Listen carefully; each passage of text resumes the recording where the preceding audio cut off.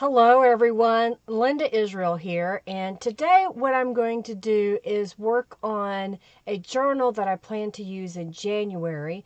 We have some January creative prompts. There will be writing as well as adding embellishments and decorating your journal page. And I thought I would start with a relatively simple journal because I know as the days progress, I'm going to be adding things to it. So I was looking through my stash and I tend to use the composition notebook because I like to pull the pages out and use them and I happen to have an empty cover and I thought what I'd first do is take this cover and let's alter it. I'm going to go ahead and make it smaller. So I'm kind of looking at where the spine is. And I think what I want to do is cut this to be six inches by nine inches. So I'm going to measure this out and then I'm going to get out my cutting board and we're going to cut this. I'm just getting out my heavy duty cutter and I'm going to cut off each side. Okay, so I've made it smaller and I know that I'm going to put a decoration on the cover. So I just want to cover up some of these areas just a little bit. I've got some Bible pages, dictionary pages, book pages, whatever you want to use.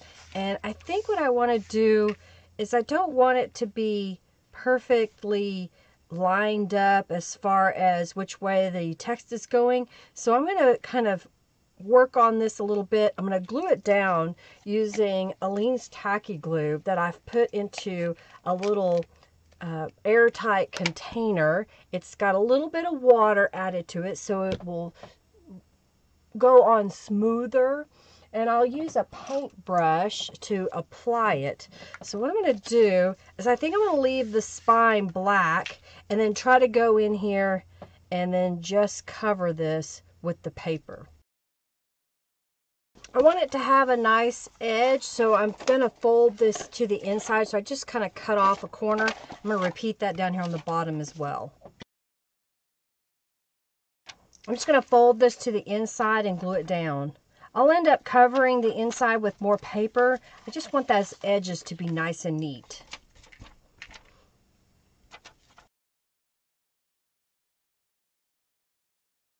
So I've got the outside covered and now I'm just going to use some scraps and pieces and then fill this inside in.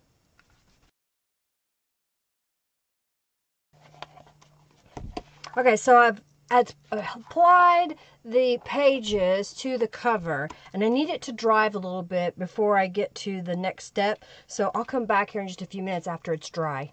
All right, so the cover is somewhat dry. It's okay if it's a little bit damp, but I didn't want that glue to still be, you know, sopping wet. I think I want to put this image on the front, but I want to change the coloring of the book pages that are on here. So I'm going to grab a couple of things here. One of them is some Tattered Angels Glimmer Mist, and I think I need to grab another color. I've got Craft and I've got uh, Red Chilies. Just a couple of shades that I think would look good together. I want to cover this up.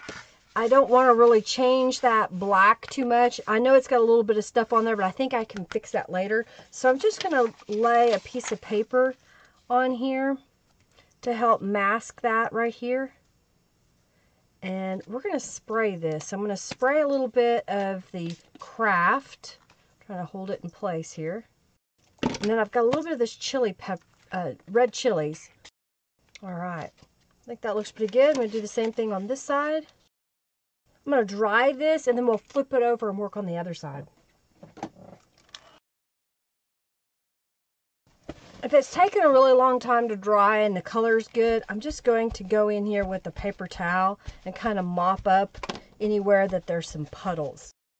For the inside, I'm not really concerned about masking anything up, so I'm just going to go ahead and just spritz the whole thing. And I'll dry this and I'll be back. All right, so I've got it dry, and I grabbed my black soot distress ink, and what I'm going to do is just kind of rub it over that spine, which will kind of bring back out the black. There was some white areas on here. I'm going to go ahead and do the edge In fact, I think I'm going to go ahead and go all the way around the edge with the black. Well, I think that's looking pretty good. I've got a calico collage image from the Radiant Red Creative Rainbow box. And so I think I just want to glue that right on the cover. I don't want it to be a pocket, so I'm just going to glue it straight down. I've got a little saying here. These are some sayings that I offer in my shop. And it says, always dream big. And I think, I think it would look good right here on the cover. So I'm just going to add that. On the inside, I want to add some pockets. So I have a another image from the Radiant Red. And I think what I'm going to do is cut this in a strip and then make pockets to go on the inside. So I'm going to cut it about oh, three, three and a half inches. That'll give me a nice deep pocket that I can put things in. And I'm just going to cut it in half. So I'm folding it and then I'll just cut it on that crease. I think that'll look good. I'm going to go around the edge with some Distress ink. I'm going to use the black soot again. And I'm just going to glue these down on the inside here. So there's the cover so far. I think it's looking really good. So the pages that I want to use in this journal, I want them to be relatively simple. Again, because I know that each day we have a prompt and I may have to paint the page or add a pocket to it. So I didn't want to embellish the whole journal and then spend time trying to figure out how to work around it in order to do the prompts. So I've just grabbed a few pages so I've got a couple of Bible pages here. I've got some just book pages. I've got coloring book pages. This is a map. This was from the same book. It's like the legend or something. A couple of notebook papers. And then I chose three of the Radiant Red Calico Collage images that I thought were pretty. I thought this would be good to start in the front. So I'm going to grab one of those and I'm just going to alternate until I have all the pages in here. So I've got about 11, 12 pages. If I, I didn't really count these as a page, but I think I have enough that for 30 days I'll be able to write prompts in here. I'll be able to add things. I'll be able to create more writing space if I need to. This is kind of just flipping through just so you can see a little bit of what it looks like. And I think what I want to do, just in case I want to have the page flat while I'm working, I'm going to do this where it's temporarily bound in this journal. So let me grab, I think I'm going to grab some ribbon and then just tie this into the journal. Then that way, if I want, I can slip the pages out, work on them, and then slip them back in. So I'll be right back. So I've got, oh, about a quarter of an inch wide ribbon. And I'm going to lay it in here. Bring it to the outside. And I'm just going to tie it off.